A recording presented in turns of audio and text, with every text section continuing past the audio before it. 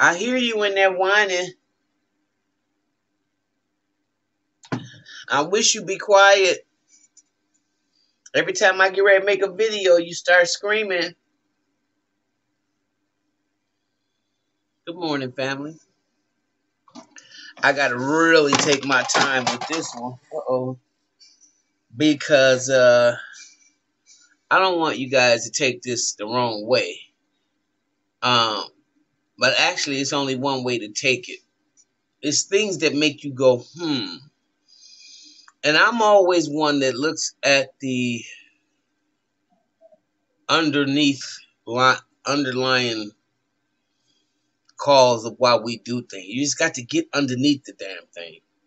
You know, it's never what you see on the surface. And this is what, um, you know, even, you know, working with people, working through therapy, working through uh, situations and um, giving advice, being able to deal with families, working with families um, that are extremely dysfunctional. I had I had to learn how to get underneath the thing. Okay, because things are usually not what you see on the surface. So that brings me to the conversation about Mr. Uh, Nick Cannon. Um, and the conversation with Nick Cannon is not just because he's he said that he was going to be celibate and now he's in, impregnated somebody else for his eighth child with his what seventh baby mama or something. So not or you know not not just that, but it just amazes me that you have all these so-called woke. I'm woke, woke. I'm wearing my turban. I'm a black man waving the red, black, and green, and all this stuff. And but every one of your baby mamas look white. Now, I I don't I don't mean to be disrespectful at all, but I have a problem with that.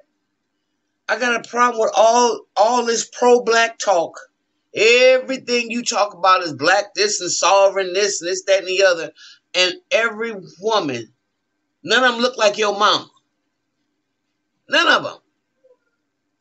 So either you hate your mama it would have it would have seemed. I mean, this is what it would appear. You hate the color of your mama. You wish your mama looked different.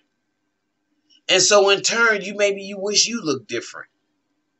You said you had a problem being skinny, but now I'm worried about did you ever have that you can think of people making you feel like you can't have no dark woman? Because I noticed that you went with Jessica White. She said you impregnated her too.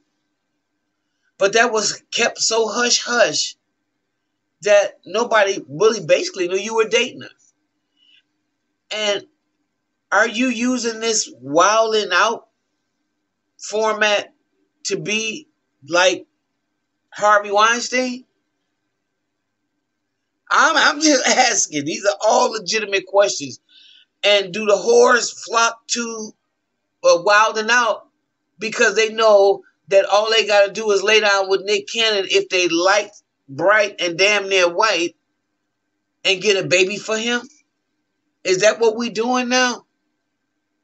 That's how this go. Because it's certainly what it looks like. I mean, I, I you know,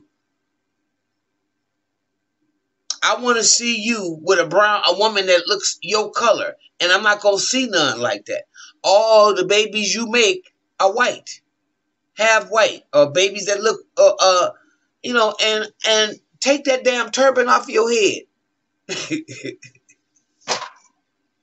Put on i mean for real and i mean okay i done went a little bit too far. You can wear the turban still but that's something that you need to examine i don't understand why you keep on talking black this and black that and i frankly wish you quit and every time i turn around you got a white woman or, or somebody that looks more white than ethnic that you having a kid with. Uh-uh. Uh-uh. Damn that. So I don't care if no I don't I don't care if nobody see that. If you don't, you need to clear the scales from your eyes and look at this behavior because they don't match.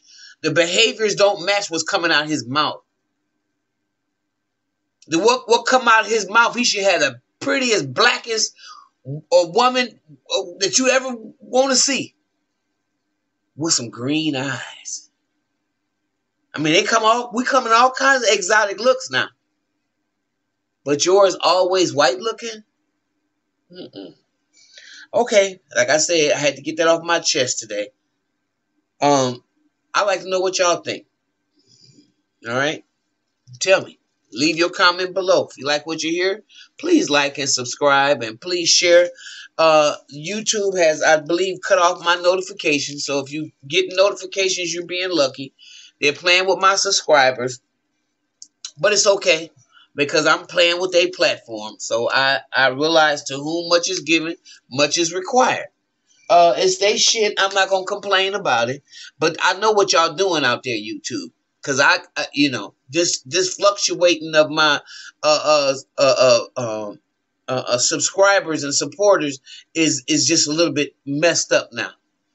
Okay, so and I'm seeing the dirty work. They dropping off, dropping off by the hundreds and by the thousands, and then they come back by the twenties and the twenty. Uh uh. But that's okay.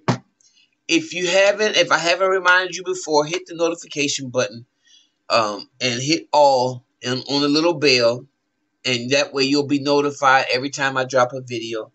I appreciate you being out there. I appreciate you for supporting the channel. And um, I'll see you in the next video. Tell me what you think about Nick.